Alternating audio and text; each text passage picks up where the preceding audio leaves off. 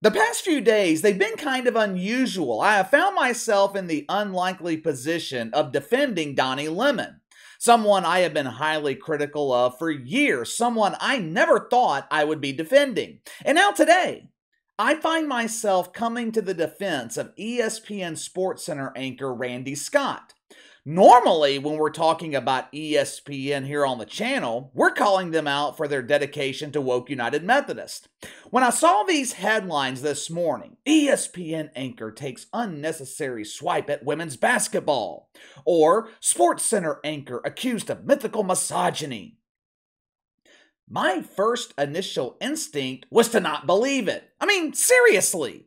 As much wanker spanking that goes on in the halls of Woke U Bristol, there is absolutely no way one of their on air personalities disrespected the sport of pretend basketball. ESPN proudly brags about being the home of women's basketball. We pride ourselves in airing live footage from the WNBA dump, unless, of course, Professional bowling is available. We know how much our viewers enjoy watching men roll heavy balls.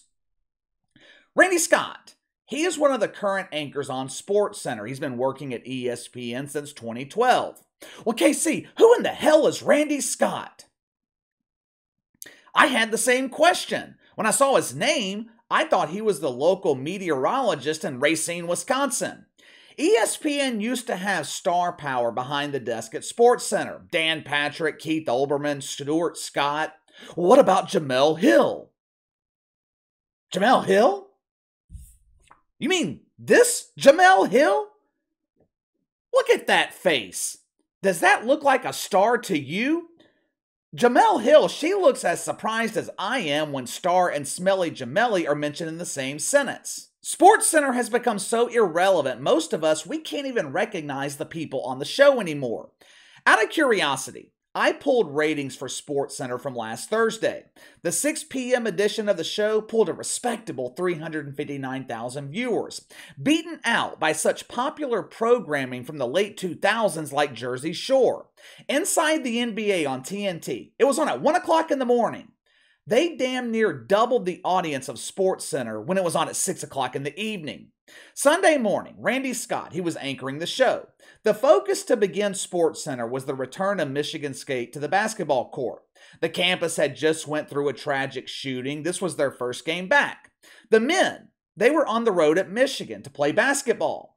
The women were at home against Maryland, involved in a tightly contested battle in something that closely resembled YMCA basketball.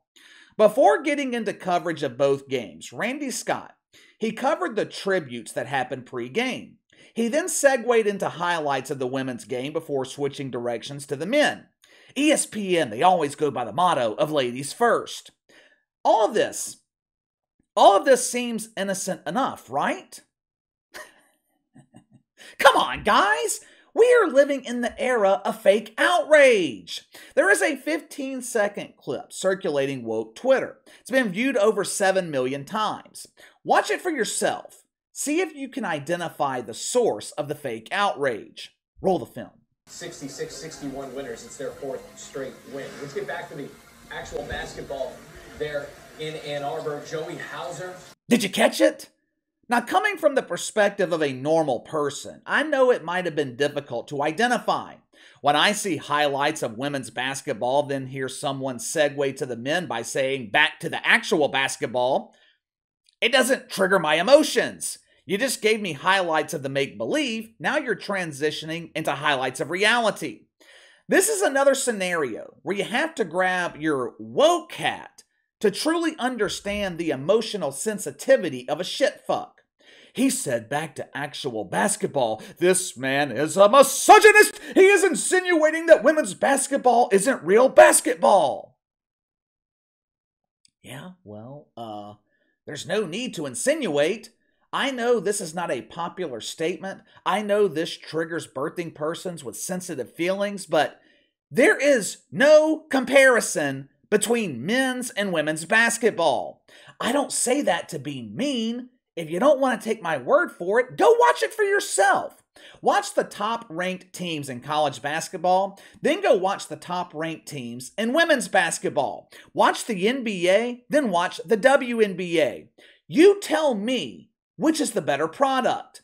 It's like comparing the NFL to the XFL. There's no comparison. One is professional football, the other is backyard football.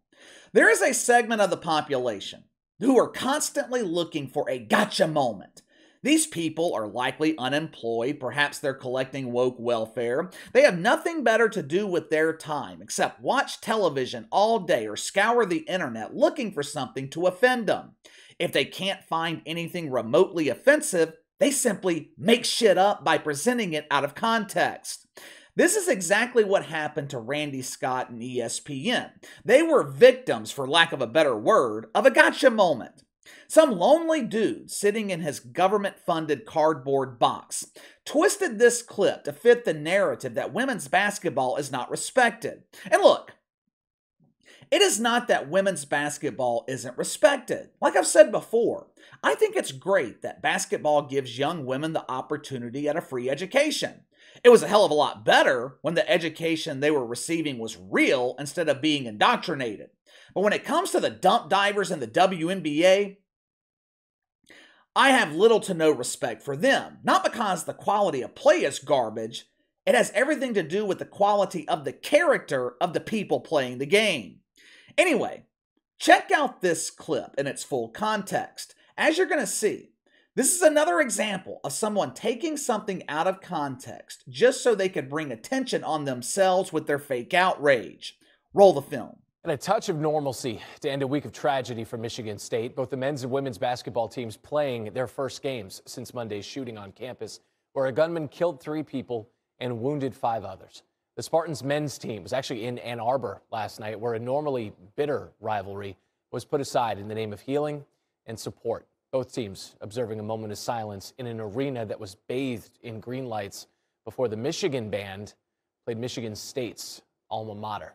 Let's get to the combined situation between these two teams. A banner there in the student section reading Spartan Strong at the Crisler Center. The women's program holding down the fort there in East Lansing, taking on eighth ranked Maryland. And Iselene Alexander going to spin, make a layup inside. Michigan State uh, cutting the deficit to just six, but Diamond Miller was too much. 29 points. She has 25 or more in four of her last five. Miller and Maryland 66 61 winners. It's their fourth straight win. Let's get back to the actual basketball there in Ann Arbor. You see how it's completely different once you see it in its full context? The reason he said get back to the actual basketball in Ann Arbor is because the clip he showed you previously was the honoring of the victims in East Lansing. These people will take anything and make it offensive. Over the next month or so, the mainstream media they are going into a full court press, trying to convince you and me that women's basketball is equivalent to the men. This fight will be led by Nancy Armour at USA Today, who will spend the entire month of March telling anyone willing to listen that women are just as good as the men. We pull in the same ratings, we sell just as many tickets, our game is just as exciting, if not more so. Of course, it's all a load of shit.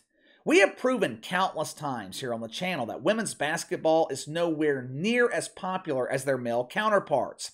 If it weren't for men's basketball, women's basketball would not exist. They don't bring in enough revenue to fund themselves.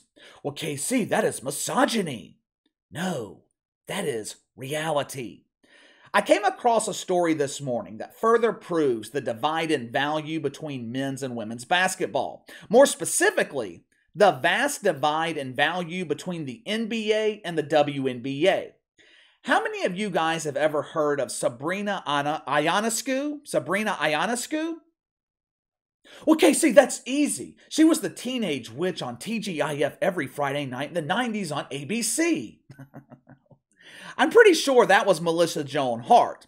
Sabrina Ionescu she is the operations manager of the WNBA dump in New York City. They call themselves Liberty Trash and Collection Services. When you're walking the streets of Brooklyn or Manhattan and you see all that trash piled up on the sidewalk, it's probably because WNBA trash engineers have went on strike demanding equal pay along with private airfare to garbage conventions. Sabrina, she is the centerpiece of what ESPN is calling the new big 3 in basketball. You had the original Big Three of Paul Pierce, Kevin Garnett, and Ray Allen. You had the Big Three 2.0 with LeBron James, Chris Bosh, and D Wade prior to his marriage with Gabe. Now we have the new and improved Big Three of Sabrina, along with two other unknown players that I didn't care to waste the time trying to identify. When the New York Liberty brought in these two unknown players to collect the city's trash with Sabrina, the value of her trading card skyrocketed. You guys remember trading cards, right? I used to collect baseball cards back in the 90s when I was a kid. Some cards were worth thousands of dollars, rare cards, they could be valued in the millions. Right now, the WNBA is bragging to the media about the value of Sabrina's rookie card. The card recently sold at an auction. It was purchased at the highest price of any WNBA card in the history of the league. As of November 2022, the most valued card in the NBA is the Steph Curry rookie card, valued at almost $6 million. LeBron's rookie card, 5.2 million. Luka Doncic, 4.6 million. On and on it goes. There are dozens of NBA cards valued at millions of dollars. Over the last 30 days, Almost 150,000 uh, NBA cards have been sold. Average price $60. Sunday night, Sabrina Ionescu set a WNBA record when her rookie card was sold at auction. Just guess, take a wild guess how much it went for. It had to be at least $100,000. 50,000. No, still not close. 20,000. it sold for $10,000, about the value of a used car from 2009. And even at $10,000, I think the dude got ripped off. At least with LeBron James, Steph Curry, their card will hold its value. Both of those guys, they have legacies, legendary careers. I would say it's entirely possible for Sabrina Ionescu to be forgotten tomorrow, but in order to be forgotten, you gotta first be identified. During the month of December, the average WNBA trading card, it was valued just over a dollar. Now, me personally, I don't get into these trading cards anymore. I think they're all worthless, but they're important, they're valuable to some people. It just goes to show you the difference in value in the marketplace between men's and women's basketball. I am often labeled misogynist or I'm called mean because I point out the fact that the WNBA, they don't have any value. But it's not only my opinion.